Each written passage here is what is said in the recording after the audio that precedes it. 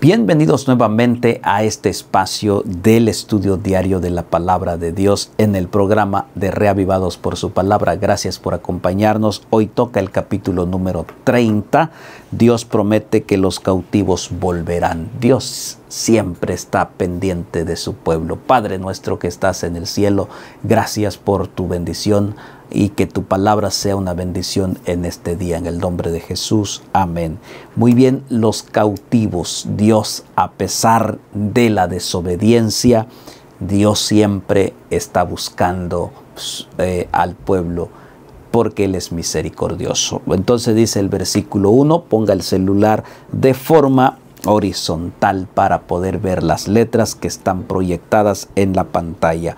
Palabra de Jehová que vino a Jeremías diciendo, Así habló Jehová Dios de Israel diciendo, escribe en un libro todas las palabras que has hablado, la indicación de Dios.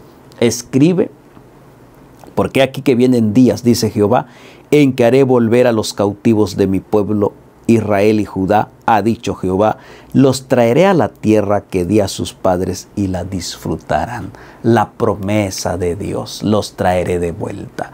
Con cuánto amor, con cuánta misericordia Dios buscando restaurar. Pero finalmente no quisieron. Ahora Dios te busca restaurar a ti porque quiere llevarte no a la tierra de Canaán, sino a la patria celestial. Y él ha prometido, Jesús dijo, volveré. Apocalipsis, dijo, vengo pronto. Así que hermano querido, esa es la promesa tal como se le prometió al pueblo de Judá en ese tiempo. Versículo 5, porque así ha dicho Jehová, hemos oído voz de temblor, de espanto y no de paz. Versículo 6, inquirid ahora y mirad si el varón da a luz, porque he visto que todo hombre tenía las manos sobre sus lomos como mujer que está de parto y se han vuelto pálidos todos sus rostros en medio del miedo porque nosotros lejos de Dios eh, el miedo nos invade y nos hace caer y nos hace sentir vulnerables porque el miedo el miedo destruye. Y entonces Dios dice, versículo 7, ah, cuán grande es aquel día tanto que no hay otro semejante a él. Tiempo de angustia para Jacob, pero de ella será librado. Vendrán tiempos difíciles, tiempos peligrosos. Y entonces los hombres que no temen a Dios temblarán y ellos quedarán pálido de espanto por el día grande que viene. Pero tú y yo si confiamos en Dios tendremos garantizada la protección y la salvación.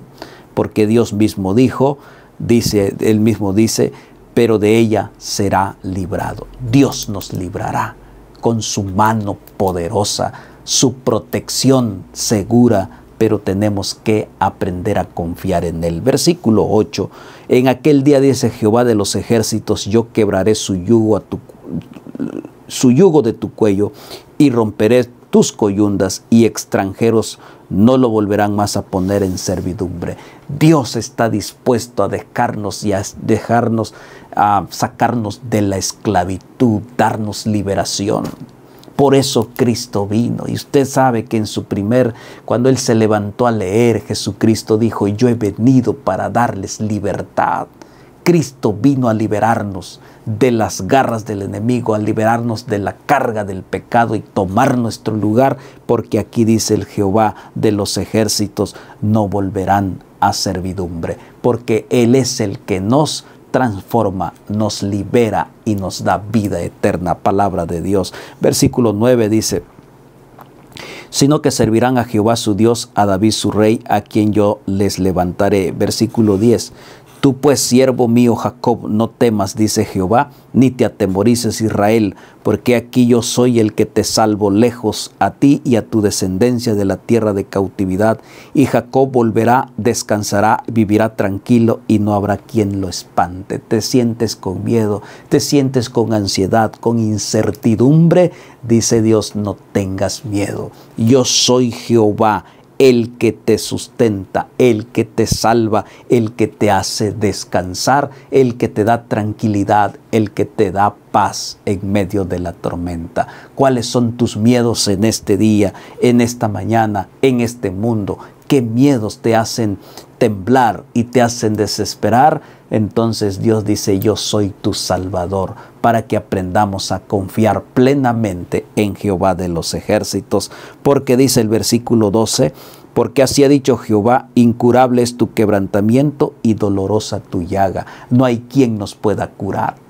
Necesitamos la curación del cielo. Lejos de Él nos estaremos pudriendo y entonces moriremos, lo que dice Isaías, que estamos enfermos desde la planta de nuestros pies hasta nuestra coronilla, hasta nuestra mollera. No hay nada bueno en nosotros. El pecado nos hace pudrir espiritualmente y nos hace morir, porque la paga del pecado es la muerte, el resultado del pecado es la muerte. Por eso Cristo viene, para aliviar, limpiar y darnos sanidad. Ve a Jesucristo, nuestro Redentor. Por eso dice, Él es el único que puede darnos salvación. Versículo 13, no hay quien juzgue tu causa para sanarte, no hay para ti medicamentos eficaces, no hay. Puedes buscarlo, pero humanamente no hay. El único medicamento lo tiene Jesucristo. Él es la medicina para tus huesos, para tu mente, para tu corazón y también es la medicina para sanarte físicamente porque Él tiene el poder. Ahí lo está diciendo. Palabra de Dios, versículo 14. Todos tus enamorados te olvidaron, no te buscaron porque como tierra, como hiera, hiere un enemigo, te herí con azote de adversario cruel a causa de la magnitud de tu maldad y de la multitud de tus pecados. Pero Dios es misericordioso. Versículo 15.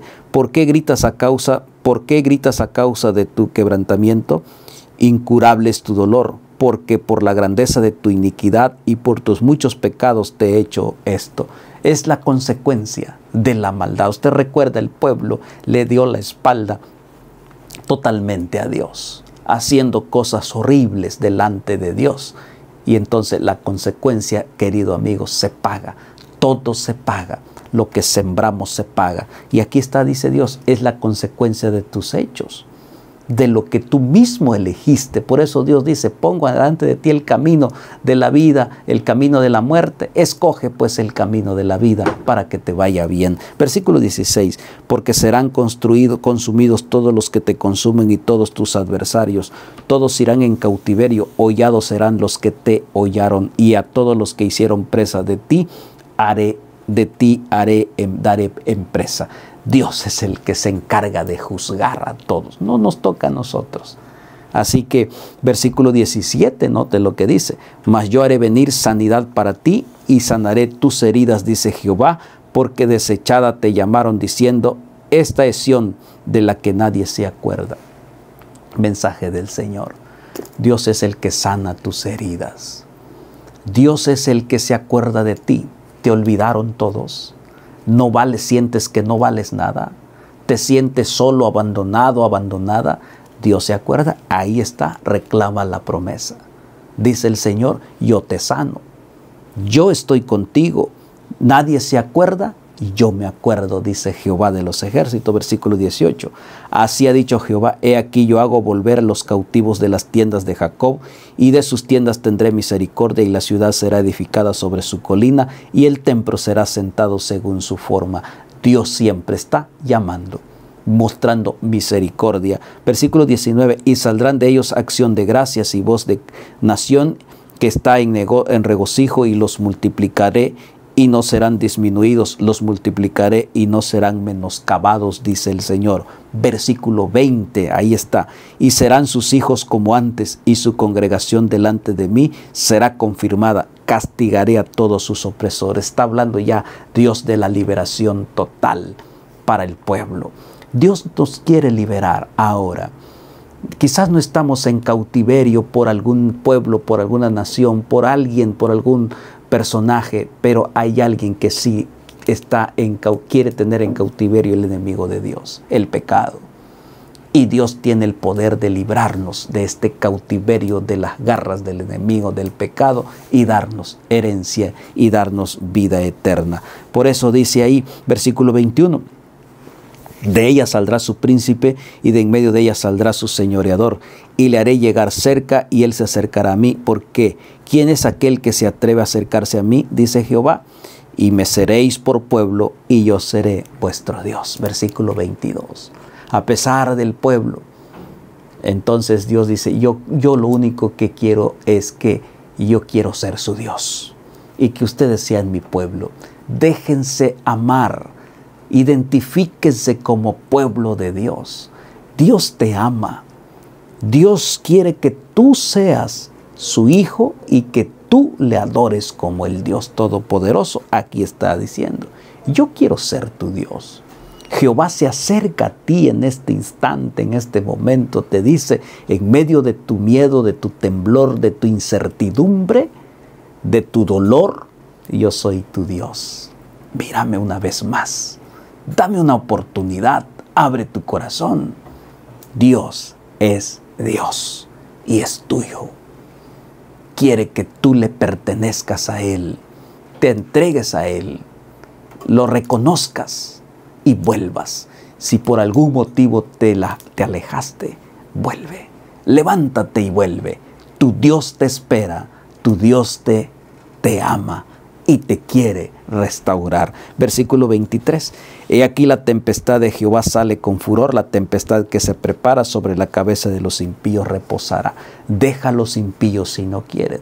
Ellos, ellos serán juzgados porque Dios es justo. Entonces, 24 dice, no se calmará el ardor de la ira de Jehová hasta que haya hecho y cumplido los pensamientos de su corazón en el fin de los días entenderéis esto, dice Jehová.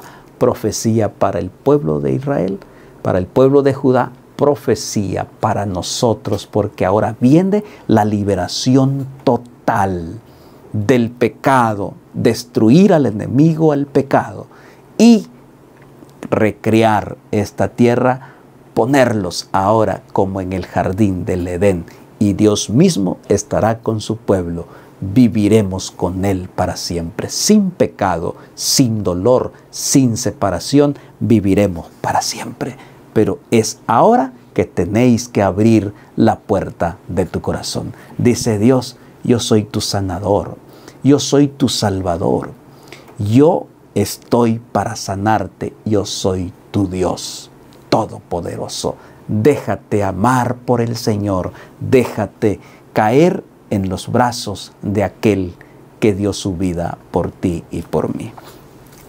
Jehová te bendiga y te guarde. Jehová haga resplandecer su rostro sobre ti y tenga de ti misericordia. Jehová alce sobre ti su rostro y ponga en ti paz.